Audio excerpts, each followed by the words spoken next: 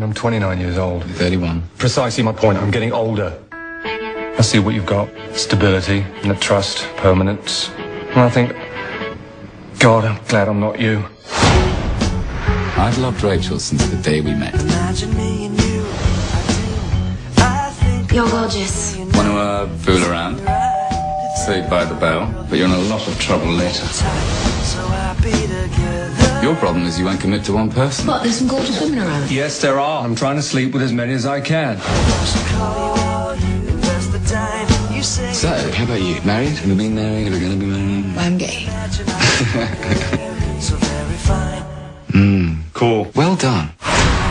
Jag me. If I'm wrong, but I think you want to kiss me. It's not going to happen. It's not. I'm a cure for lesbianism. Do you guys believe in love at first sight? That you could meet someone across a room, and with that one glance, you could look in their eyes and see their soul? No, absolutely not. Everyone promises you happily ever after. But life turns into a different kind of fairy tale. I am in love with someone else. Who is the lucky chap?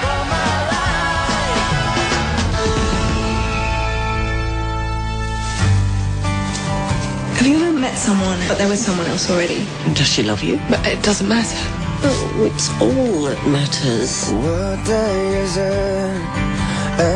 You make me feel something I absolutely cannot feel. I can't. I know.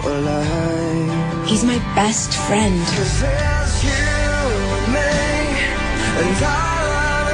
No, I want you to be happy. I want it to be the cause of happiness in you.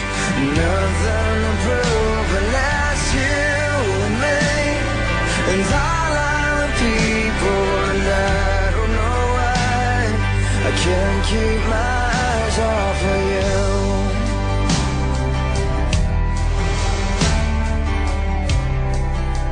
Anyone can change teams. Not anyone. I wouldn't, uh, because you know. But anyone. I mean.